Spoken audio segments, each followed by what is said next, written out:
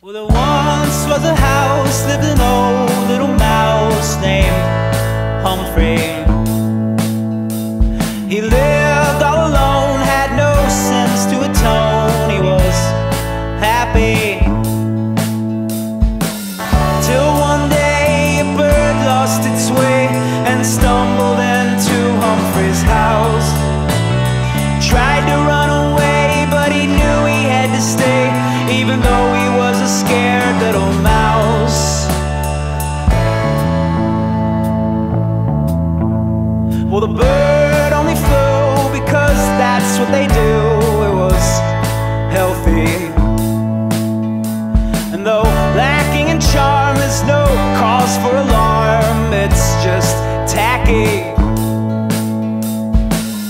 Nod to a wink, the bird stopped to think and made himself scarce as a ghost.